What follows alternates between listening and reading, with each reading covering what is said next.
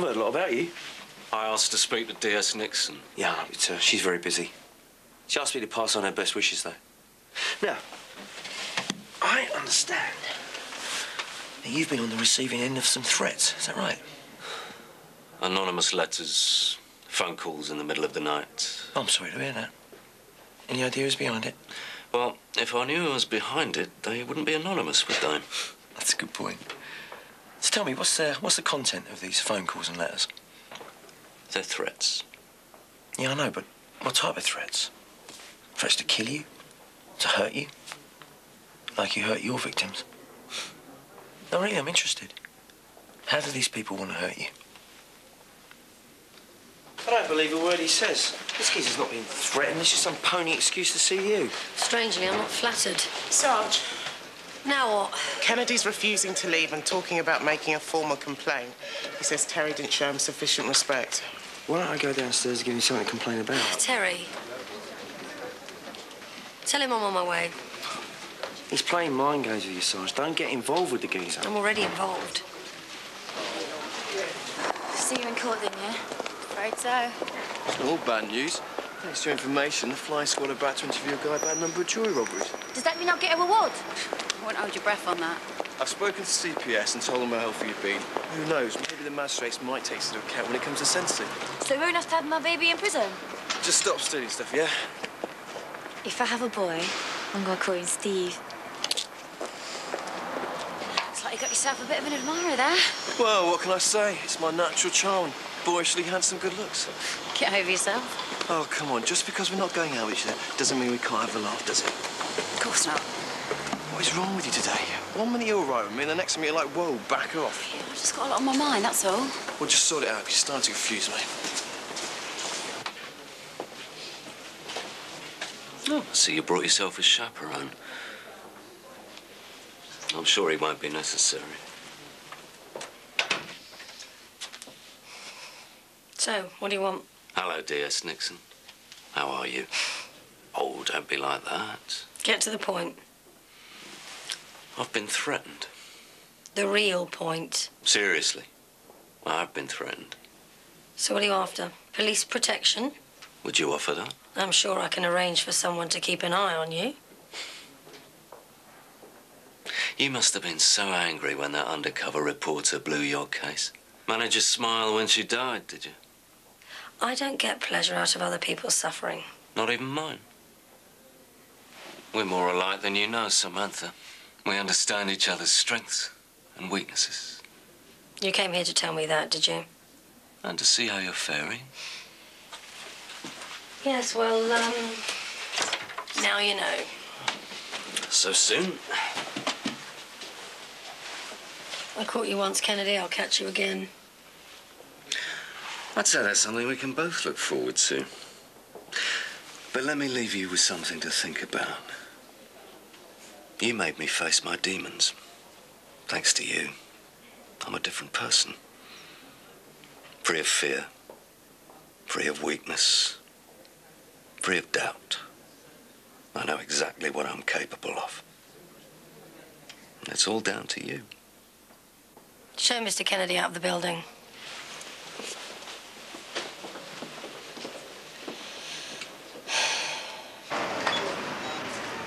No sign. Got a possible sighting of Handel Road.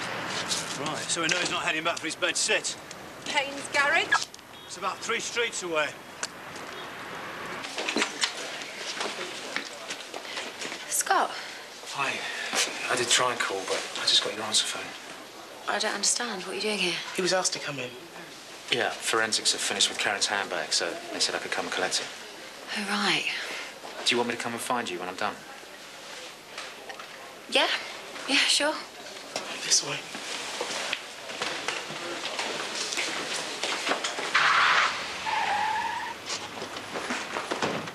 Hello again, Mr. Penn. Don't come charging in here right now. It's not a good idea. It's Fairfax here? Yes. Right, we need to see him. Yeah, I know, but it's not a good time.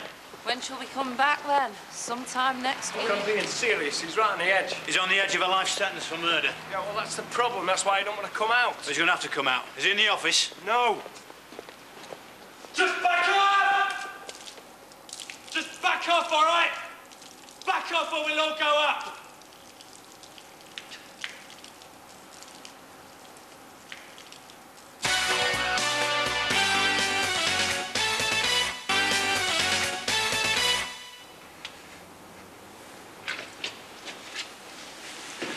How much has he had to drink? Enough. Look, we don't need this, Colin. Want a bet. Just come out, mate. Everything will be all right.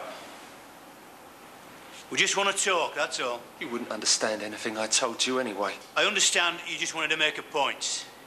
Yeah, right. Things didn't work out how you planned. You do something. This place goes up unfinished. What's that? Chris doesn't want to see you get hurt, Colin. That's all. Well, don't whisper. I don't want anyone whispering. Okay. We won't whisper, as long as you don't shout, all right?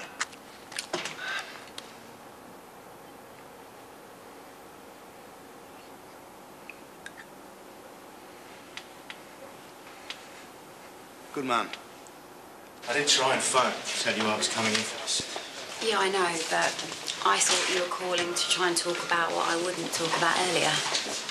Not sure how I feel about having this back, you know. Her phone, purse, one glove. Funny what women keep in their handbags, isn't it? Scott, Look, I, um... I meant what I said earlier. I just want to be with you. you already are. No, I'm talking about the future. Our future. Look, honey, I don't want to lose you, okay? But if this isn't what you want or you're not ready, then you should just say. I don't know what I want. Oh, come on, honey. You're the best thing that ever happened to me. Come on, I'd better show you out.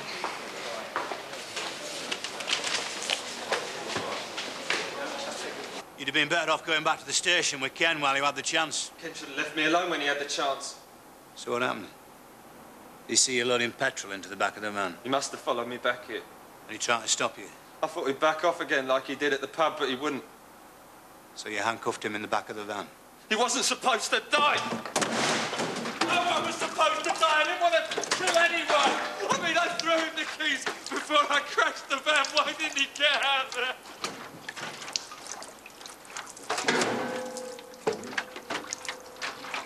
Colin? Yeah, that's something we'll probably never know. All I can think about is him burning in there. Yeah. Okay. It's not okay, is it? I killed three people. Three people I worked with.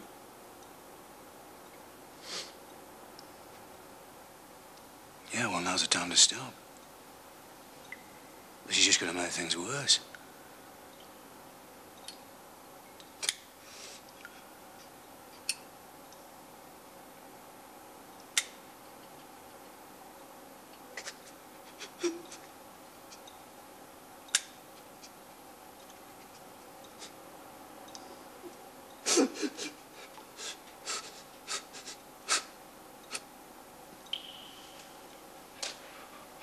Colin, you proved what you set out to prove. That Sunhill was vulnerable to a terrorist attack. What I proved is that I'm a complete nothing. Yeah, but you're not a terrorist. Terrorists don't feel guilty. They don't offer to give money for a collection for the victims. Terrorists usually kill themselves. And is that how you want to be remembered? As a fanatic who killed three people and then killed himself? Is that how you'd want your mum to remember you? I've no other option. I mean, what's left for me now? A trial? Yeah, but that could be a chance for you to explain yourself.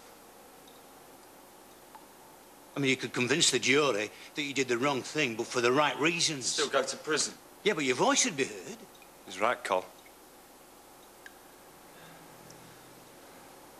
Choice is yours, Colin. You can die a forgotten martyr, or you can live, be a spokesman for the cause.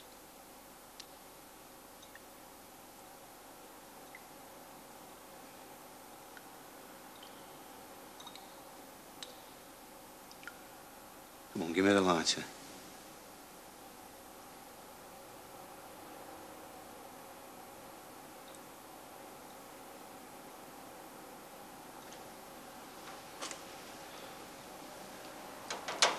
Good man.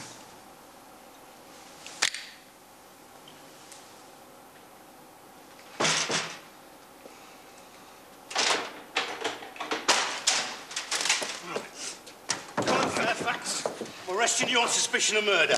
You don't have to say anything, but it may harm your defence if you do not mention when questioned something you later learn in court. Anything you do say, it may be given in evidence. Right, cuff him, Joe.